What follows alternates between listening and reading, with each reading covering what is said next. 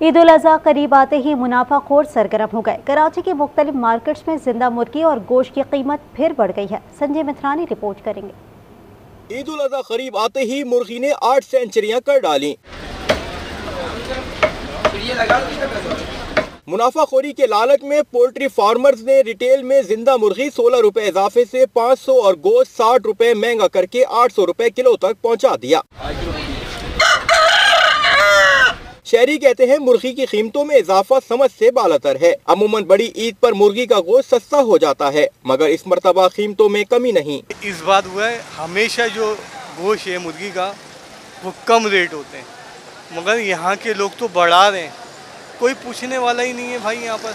हर चीज़ महँगी हो जा रही है। मगर इससे पहले तो रेट गिरता है लेकिन पता नहीं मुझे नहीं मालूम क्या वजह है कि ये तो कह रहे हैं रोज़ पचास साठ रुपए बढ़ रहे हैं। मुर्गी के सरकारी सतह पर फ़ी किलो रिटेल कीमत पाँच सौ सत्तर रूपए और ज़िंदा मुर्गी की रिटेल फ़ी किलो सरकारी कीमत तीन सौ अड़सठ रूपए ही मुकर्र है। कैमरा मैन असगर शाह के साथ संजय मतरानी आज न्यूज़ कराची।